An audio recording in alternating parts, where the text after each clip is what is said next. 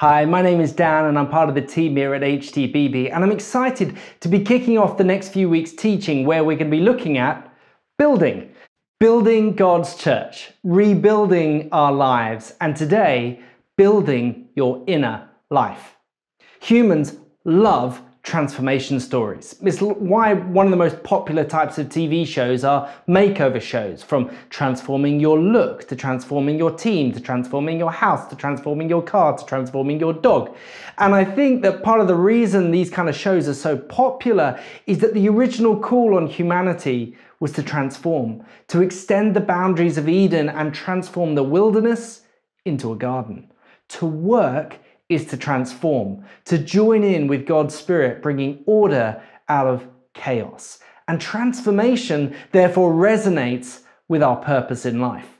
But also, we're told that this is what God longs for each and every one of us, that we would be transformed into what He created us to be. The technical word for this transformation is sanctification. And the most helpful description I've heard of what this means is to be reparented into the family of God.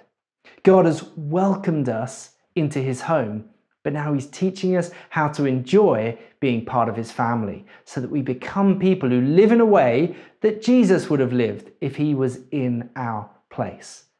In the chapter we're going to look at today in the book of Romans, Paul gives us a description of what a Jesus transformed, Jesus shaped life looks like. And here is some of how he describes it. Be devoted to one another in love. Honor one another above yourselves. Never be lacking in zeal. Be joyful in hope, patient in affliction, faithful in prayer. Practice hospitality. Bless those who persecute you. Rejoice with those who rejoice and mourn with those who mourn. If your enemy is hungry, feed him. If he's thirsty, give him something to drink. Do not be overcome by evil, but overcome evil with good. Wow. What a vision for life. What a vision for the way we could be. I would love to be like that. But in my own strength, Paul might as well have asked me to run through this wall. But the wonderful news is that this isn't the starting place. This list is in chapter 12 of the book of Romans, with the first 11 chapters talking about what Jesus has done for you. This is therefore what is now available to you in Jesus through the power of the Holy Spirit. And just before this description, he starts by explaining how it is that we become a people like this. And this is what we're going to focus on today. And as I read this now, know that this is what your Father in heaven longs for you today. So, this is Romans chapter 12, verses 1 and 2. Therefore, I urge you, brothers and sisters, in view of God's mercy, to offer your bodies as a living sacrifice, holy and pleasing to God. This is your true and proper worship. Do not conform to the pattern of this world, but be transformed by the renewing of your mind. Then you'll be able to test and approve what God's will is, his good, pleasing, and perfect will. Amen. Amen. What Paul is describing here is the process by which we're transformed into the likeness of Jesus. In other words, how we change. Now, anyone who's ever tried to change themselves or manage change in an organization knows that change is hard. The, the absolute best evidence for this is the existence of a product called Clocky. Clocky is an alarm clock, but no ordinary alarm clock.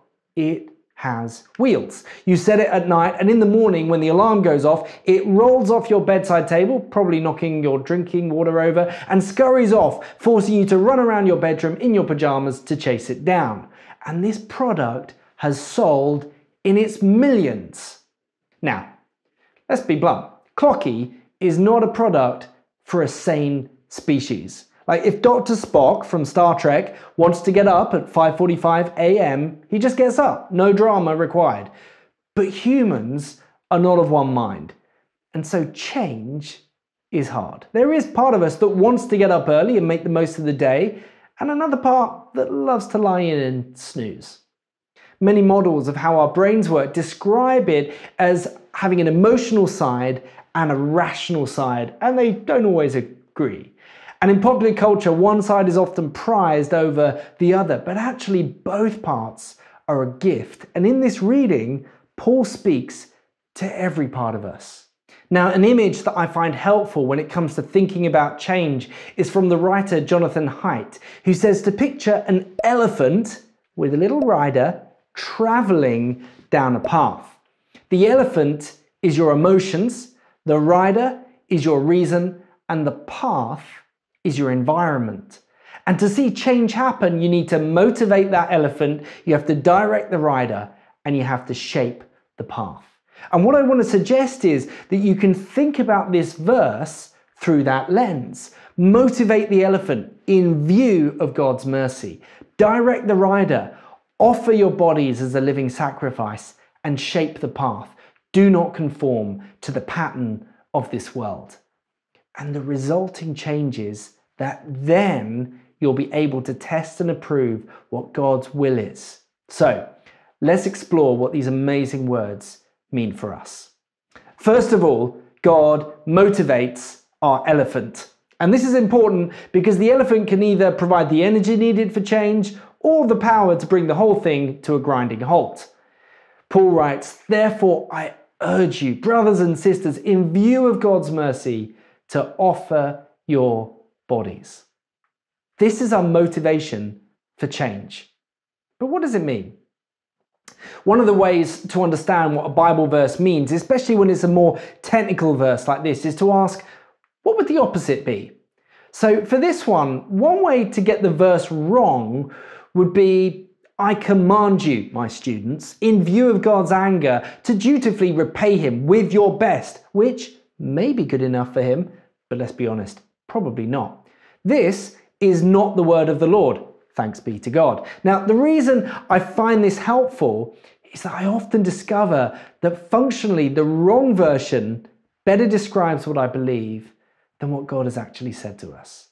For example, in view of God's anger instead of his mercy, how many times have I beat myself up or beat up on others, forgetting that, as James says, human anger does not bring about the righteousness that God desires? Actually, the thing that Jesus says will bring about the change we want to see is not his anger at our sin, but an understanding of his mercy towards us despite our sin. Breaking down that verse, he starts by saying, therefore. In other words, in light of the 11 chapters that have gone before us, where he lays out the problem of our sin, our helplessness to make it right, that he sent his own son to die in our place, that we receive this work by faith, that he gives us his Holy Spirit, that he makes us part of his family, in, in summary, in view of God's mercy. That's how you could sum up the entire Old Testament in view of God's mercy how you could sum up all of church history in view of God's mercy, how you could sum up each and every one of our own stories in view of God's mercy, in view of all that He has done for us. That is what motivates us to change. Now, it's not to say that there aren't other ways to try and fuel the change. In the same way that there are different fuels for different cars. Some cars take diesel, some take unleaded, though I've never quite worked out what the difference is between the different types of unleaded, like RON 95 and RON 97. I presume RON 97 is better, but what happened to RON 96? Anyway, uh, and we're obviously all being urged to move towards renewable fuels, which isn't because fossil fuels don't work, but because they burn dirty. You could think of that with your motive for becoming like Jesus. See, there are other fuels Paul could have used to motivate us. He could have said, in view of your potential, or in view of all your achievements, or in view of others' expectations, or in view of God's expectations. As motives for change, all of those bring about a short term burst of energy, but ultimately they run out of power and produce all kind of striving which is not the life Jesus has for us.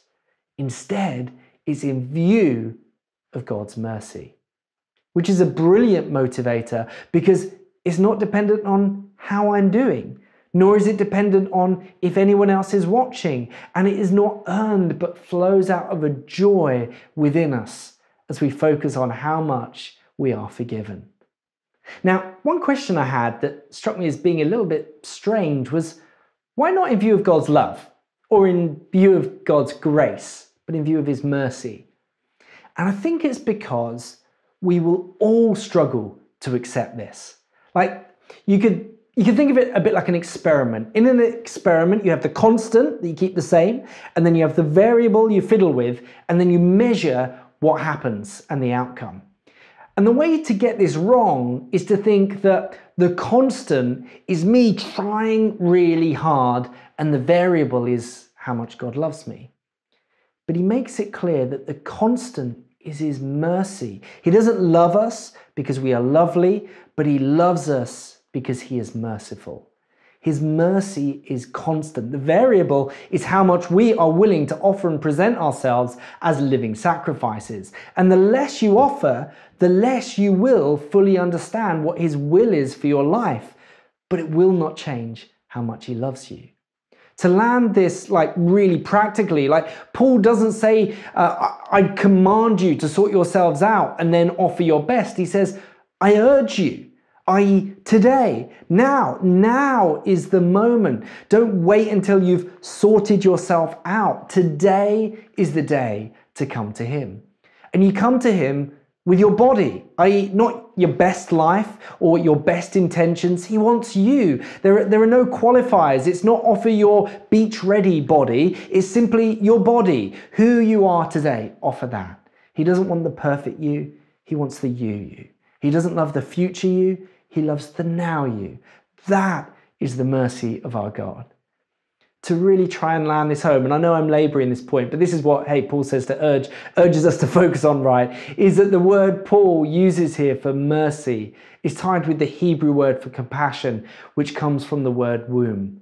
This is the kind of compassion with suffering that he's wanting us to imagine, the mercy that a mother has towards her own child. What wouldn't a mother do for her child? This is not just the one off mercy, this is the again and again and again and again mercies of God that took Jesus to the cross for you and for me to die in our place. And you can immediately see how this starts to change us because Paul, Paul demonstrates it for us here. See, the way you think God speaks to you will be the way you speak to others. The way you are led is the way you will lead. Paul, as we said before, could have said, I command you, my students. He is, after all, very learned. He's a teacher, he's an apostle picked by Jesus. But because he's received mercy, he is merciful. And instead, he says, I urge you, brothers and sisters. The word urge is parakaleo, which means to be beside to call alongside. And it's the same word used to describe the Holy Spirit. Paul is leading others as he himself has been led. God does not stand on high issuing commands, but he gets right up close to us by his Holy Spirit and urges us on. Nor does Paul call them his students, but my brothers and sisters. The tone is not of a boss issuing commands, but of the leader who is in the trenches with his team. As you are led, you will lead. And Jesus leads us with his mercy. So never be stingy with mercy. There is no better motivator than God's mercy. But having the motivation, we then need to know what it is we're being motivated towards. To see transformation, we motivate the elephant, but then you also need to direct the rider. You direct the rider so that they can guide the power of our emotions, like a little rider on a massive elephant. And to direct the rider, Paul does something really helpful for us here. He shrinks the change. That list we looked at earlier is quite a long list of what a Jesus shaped life looks like. But even then, that's not comprehensive. And if you tried to recall that list every time you had to make a decision, well, you'd be overwhelmed. Instead, Paul shrinks all of it down into one clear physical action. He says, offer your bodies as a living sacrifice. The image he's drawing from here is temple worship, where sacrifices were offered, and in particular, a thanksgiving offering. In the Jewish temple worship, this was done by a burnt offering. You would bring your best animal without blemish, and you would burn all of it on the altar as a symbol saying, God, in light of all you have given me, all I have is yours.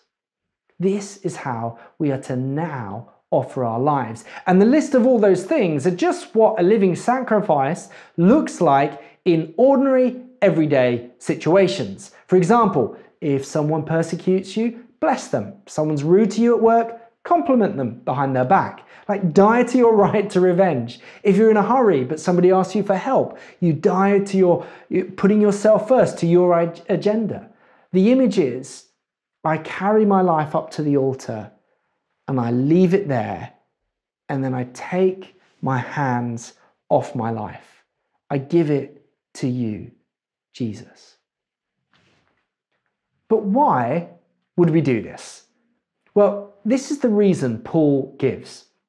He says, Offer your bodies as a living sacrifice, holy and pleasing to God. This is your true and proper worship. And there are three reasons, past, present, and future, of why you should take your hands off of your life. The past, look at what he's done.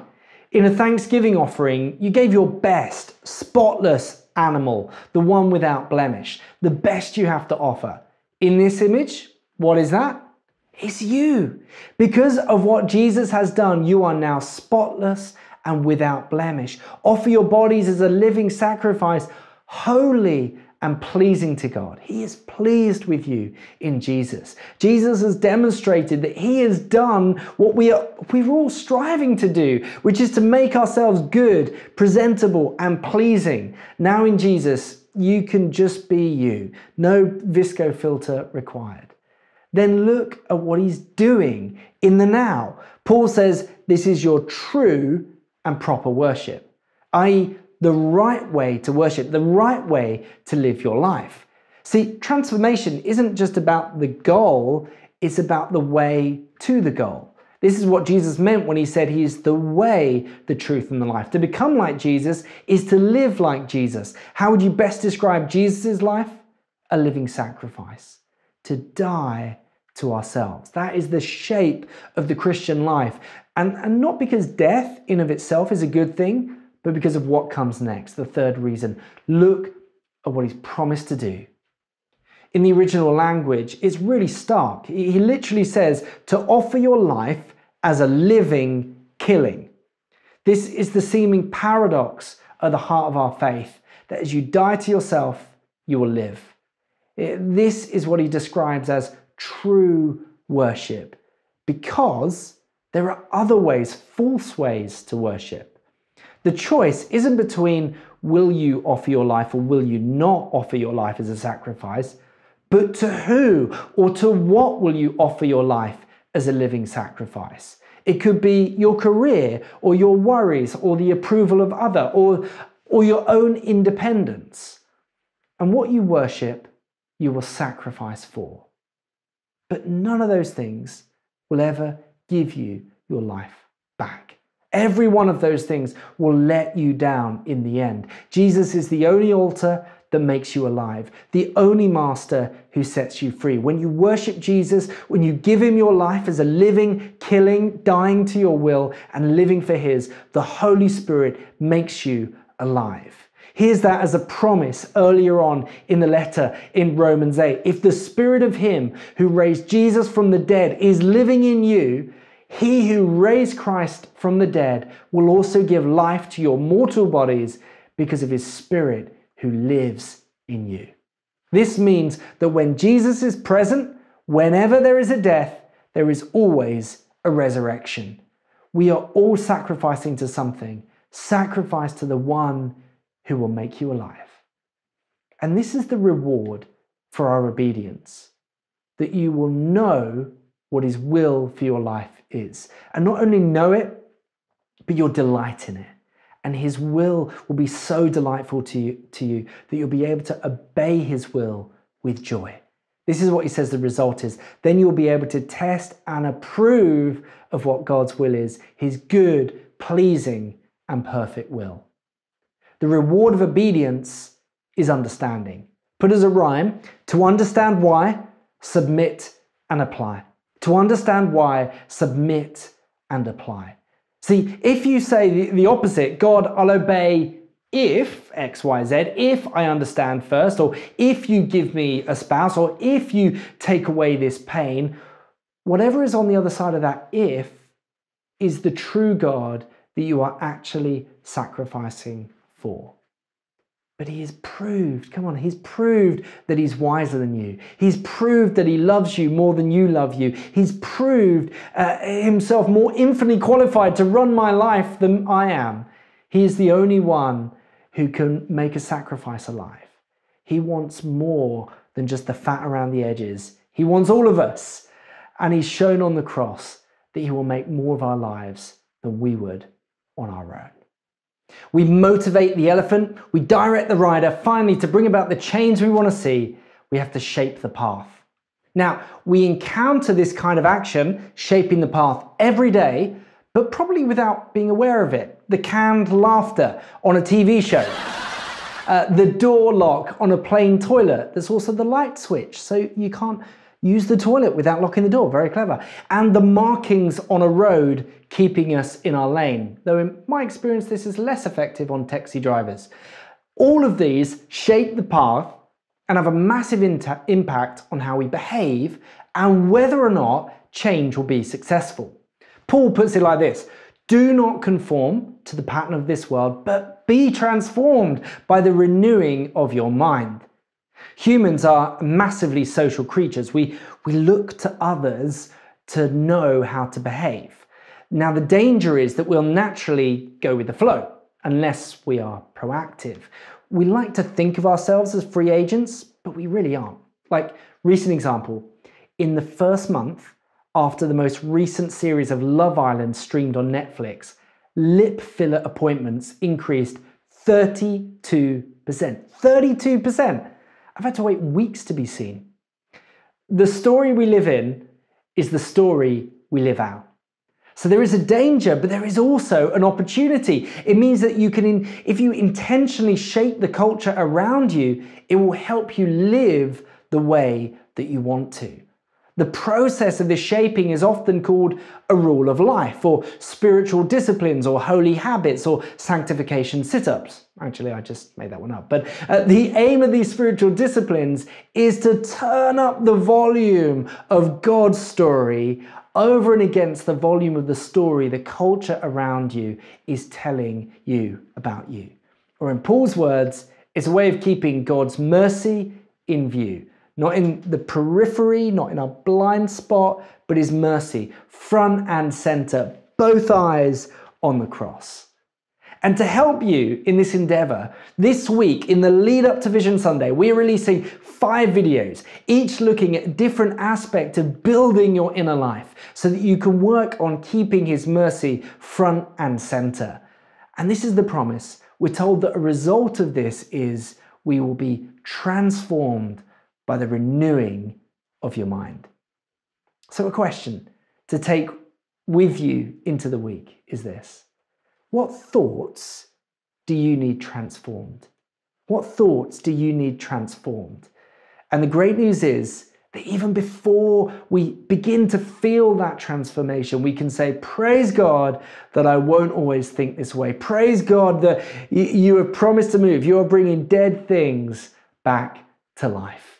And we can be confident that the Holy Spirit is powerful enough uh, to bring this change because we've seen it before. You can see in Paul's words here. Paul was this self righteous, religious, authoritarian guy whose pride led him to take the lives of other people that he disagreed with. People who he is now humble enough to call brother and sister. But what's even more remarkable is who those people are. See, at the end of this letter, he signs off and he sends his regards to everyone, and so does everyone that's with him. They all send their greetings. And there's this amazing line in chapter 16 Erastus, who is the city's director of public works, and our brother Quartus send you their greetings. Erastus, who's basically the CFO of an entire city, and Quartus, a man whose name is just a number. He's a, he's a former slave. They are brothers together in Christ. This isn't just internal, but this is external, radical, societal change. This is reconciliation and transformation of all things that God longs to see and longs for his church to be part of. And he starts with us. Amen. Why don't we, we stand wherever we are? We're going to invite the Holy Spirit to come and renew us, to bring life uh, to every part of our being. So let's pray. You might find it helpful to put your hands out in front of you as we do this as a sign to say, Jesus, I, I offer you my life.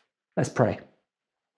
Holy Spirit, we need to hear you urging us on. We can't do this without you. And so we ask that you would come and fill every person watching this now, that you would fill every home wherever we are Holy Spirit, we wait on you.